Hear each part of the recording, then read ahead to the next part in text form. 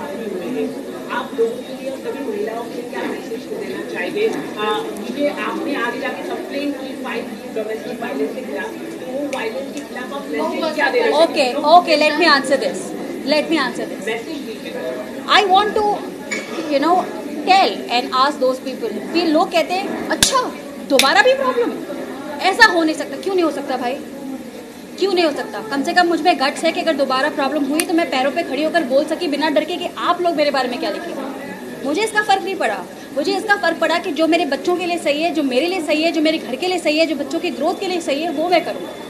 और कम से कम वो लोग जो यहाँ पर भी हैं, उनमें से आधे से ज़्यादा लोग होंगे, घर में पत्नी है, लेकिन फिर भी एक गर्लफ्रेंड है। या फिर हस्बैंड है, फिर भी एक बॉयफ्रेंड है। उससे अच्छी हूँ ना मैं, उससे बाहर आके बोला, ना dude I don't want to stay with you so I don't want to stay and I don't want to do I will do what is right without caring what you people think और what what you people will write about me और मैं, मुझे लगता है कि हाँ you are right मैं एक ऐसा स्टैंड खड़ा करूँगी उन औरतों के लिए जो डरती हैं कि दोबारा अगर उनकी लाइफ में प्रॉब्लम हुई तो लोग क्या कहेंगे? वो कुड़ती रहेंगी, डरती रहेंगी, बच्चों को अच्छा ग्रोथ नहीं देंगी।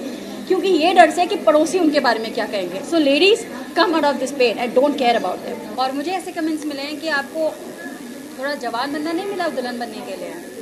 लेकिन मैंने उनको कहा कि डैड की दुल्हन का कॉन्सेप्ट है तो हाँ और दूसरी कमेंट मिली है कि आप लोगों ने जो ये मिच्योर लव स्टोरी दिखा रहे हैं, ये जो टीवी पे बहुत कम आता है, ये ये भी लोगों ने बहुत अप्रिशिएट किया, लोगों ने बहुत मैसेज किया कि आपने जो मिच्योर लव स्टोरी बनाई है, वो बहुत अच्छा है कमेंडेबल और मियाँ को बहुत पसंद किया जा रहा है। हर कोई कह रहा है कि बहुत क्यूट लड़की है सब मुझे मैसेज कर रहे हैं कि मियाँ आपकी बड़ी क्यूट है आप प्लीज़ उसके साथ कोई फ़ोटो पोस्ट कीजिए।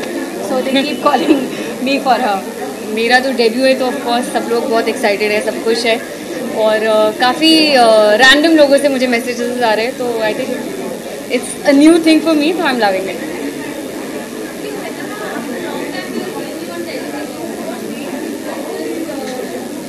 because of the concept, because of the character, because you know what, used to get a lot of uh, lot of offers for television, लेकिन अच्छे अच्छे शोज़ का कॉन्सेप्ट अच्छे अच्छे सॉरी अच्छे अच्छे शोज़ अच्छे अच्छे प्रोडक्शन हाउसेज ने मुझे अप्रोच किए हैं नए नए शोज़ के लिए लेकिन उनकी प्रॉब्लम ये होती थी कि शोज़ की स्टोरी अच्छी होती थी बट एज अ कैरेक्टर जो मुझे प्ले करना है अगले साल दो साल के लिए उसमें कुछ खास नहीं होता था। मुझे पता होता था कि दो या तीन महीने में मैं बोर हो जाऊँगी तो मेरी हिम्मत नहीं होती थी ऐसे कॉन्सेप्ट को हाँ कहने के लिए। लेकिन ये ये मुझे पता है कि तीन महीने तक तो मैं डिस्कवर ही करती रहूँगी कि इसमें करना क्या है।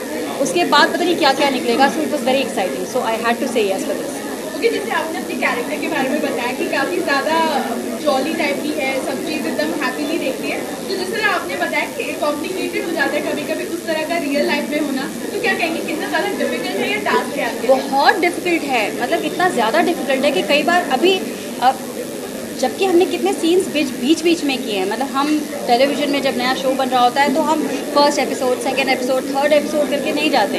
हम रैंडम सीन शूट करते हैं। रैंडम सीन्स में इतना डिफ़िकल्ट होता था कि इतना बड़ा क्राइसिस है उसके सर पे, लेकिन फिर भी वो हंसे कैसे?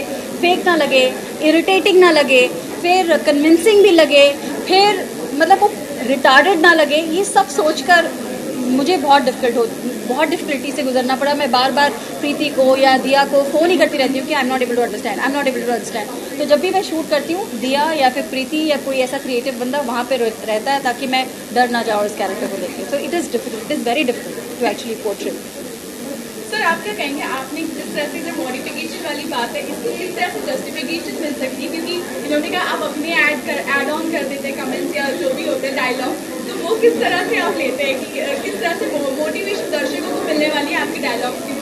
यार मोटिवेशन का तो पता नहीं बट मेरे ख्याल से अगर कैरेक्टर एक बार समझ में आ जाए ना तो हर कैरेक्टर का अपना एक लिंगो होता है, उसके बात करने का एक तरीका होता है। और मेरा हमेशा से ये मानना है कि अब तो क्योंकि मैंने खुद भी करके देख लिया लिख लिखा के।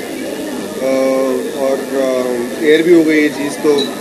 लिखने के बाद जो है ना कभी कभी आपको बिल्कुल डिसोसिएट करना पड़ता है अपनी लेखनी के साथ, अपने लिखे हुए मटेरियल के साथ। क्योंकि एक्टर जब एक्टिंग करना शुरू करता है तो ऑन सेट बहुत सारी चीज़ें होती हैं जो कि दिमाग में आती हैं। आपकी बहुत सारी चीज़ें ऐसी होती हैं जो कि शूटिंग करते हुए बदल जाती हैं। तो उसको जस्टिफाई करने के लिए आपको there is a certain performance continuity that one has to maintain बहुत सी चीज़ें होती हैं जो बदलती हैं, आप उसको थोड़ा सा ट्वीक करते हैं इधर उधर कुल मिलाकर ये कि एंड प्रोडक्ट जो है वो अच्छा लगना चाहिए। मतलब ये जो कैरेक्टर जो मैंने देखा है, उसमें ये देखा है कि ये अनोइंग कैरेक्टर है, लेकिन अनोइंग लगता नहीं। आपको बहुत एंटरटेनिंग लगता है। इरिटेटेड रहता है, लेकिन उसे देखकर आपको खुशी मिलती है। तो ये यूनिक है अंबर के बारे में। So I think that's really nice बेचारी को सीखने का मौका ही नहीं मिला।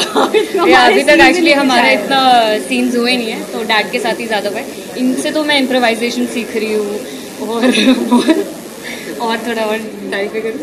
हाँ हाँ हो प्लान करके आई थी जहाँ रुकना होगा मैं हाथ खड़ा नहीं बट काफ़ी बार ऐसा होता है कि मैं एक सर्टन टोन में बोल रही हूँ। तो उनके like he is always suggesting कि ये तो थोड़ा ऐसे कर सकती है कभी स्क्रिप्ट से ही मार देंगे नहीं ये ऐसा कर। So I think it is it's I am loving it क्योंकि इतने एक्सपीरियंस्ड एक्टर्स हैं तो मुझे बहुत सीखने मिल रहा है। It's like a coaching class for me basically तो ये देखो अल्टीमेटली जितने भी साल हम लोग काम करेंगे जो कुछ भी सीखा है हम लोगों ने अपने पहले वालों से वो साथ लेके जाके तो कुछ फ़ायदा है नहीं। जो यहाँ से उठाया है उसको यहीं पे छोड़ के चले जाए ज़्यादा बेहतर है। Anybody wants to benefit from it they are welcome मतलब अ, ऐसे भी हम लोगों ने देखे हैं जो कि मतलब जिनको ज़रा परेशानी होती है इस चीज़ से। लेकिन आई डोंट थिंक उससे डेटर होने की ज़रूरत है। मतलब अगर कोई आपका कमेंट या कोई एक सुझाव किसी को ज़्यादा बेहतर परफॉर्म करने के लिए हेल्प कर सकता है तो फिर क्यों ना किया जाए कॉन्सेप्ट के बारे में क्या कहना है माना गया आपने जैसा कहा कि लड़की को बीमार नहीं होगी और सिंगल पेरेंटिंग की भी बात की गई है तो कॉन्सेप्ट के बारे में क्या कहना है कॉन्सेप्ट के बारे में ये कहना है कि ऐसा कॉन्सेप्ट हमारे इस देश में, हमारे आस पड़ोस में बिल्डिंग में सोसाइटी में एग्जिस्ट करता है। अगर आप रेशियो देखेंगे तो आजकल सिंगल सिंगल पेरेंटिंग ज़्यादा हो रही है साथ के बजाय। और हमारे इस सोसाइटी में एक और नोशन है कि 40 के बाद आपको प्यार हो रहा है। मतलब you dating someone at 40 getting married at 50 it is not possible एक टैबू है कि अगर आपने अपना 25 साल क्रॉस कर लिया है अगर आपने अपनी जवानी छोड़ दी है so you can fall in love which needs to you know people need to change their uh, you know the thinking about this place. Everybody needs ज़रूरी नहीं है कि अगर आपने कॉलेज छोड़ दिया है तो you can fall in love